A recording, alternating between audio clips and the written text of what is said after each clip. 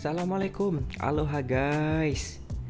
Taman ini katanya dulu adalah tempat bersantainya Sultan beserta keluarganya guys. Dan di sini juga bisa santai sambil menikmati rujak kolam yang legendaris di taman ini loh guys.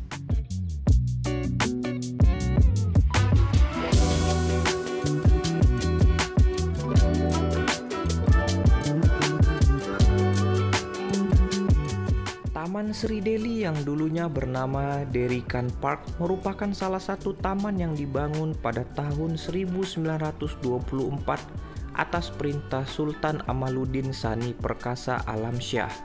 Taman ini dibangun oleh arsitek berkebangsaan Italia dengan menerapkan perpaduan arsitek Turki, India, dan Mesir. Sore hari adalah yang paling tepat menghabiskan waktu berkumpul bersama keluarga dengan luas sekitar 1,4 hektar, kemudian ditambah dengan sejumlah pohon yang menyejukkan suasana, membuat nyaman para pengunjung yang mau santai di taman ini.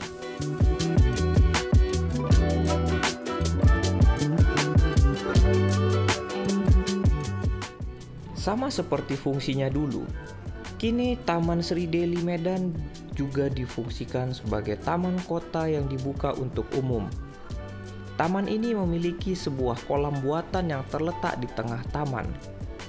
Di sekitar kolam juga terdapat kursi taman yang biasa digunakan pengunjung untuk bersantai. Selain bersantai, pengunjung juga bisa sambil menikmati kuliner yang dijajakan di area taman. Tapi untuk kuliner yang kita rekomendasikan tentunya rujak kolam. Untuk rujak di Taman Sri Deli ini sudah tidak perlu diragukan lagi guys. Karena begitu terkenalnya rujak kolam di sini, tak heran turis mancanegara pun sering datang ke sini hanya untuk mencicipi rujak yang ada di Taman Sri Deli ini. Oh iya, disebut rujak kolam karena biasanya pengunjung menikmati rujak ini di tepi kolam taman. Tapi tenang, untuk harga rujaknya sekitar 20 ribuan masih tergolong aman di kantong kok. Nah, setelah mencicipi rujak di sini, kalian bisa lanjut melihat Masjid Raya Al Masyun yang berada tepat di seberang Taman Sri Deli ini. Atau bisa juga jalan ke Istana Maimun karena lokasinya tak jauh dari taman ini.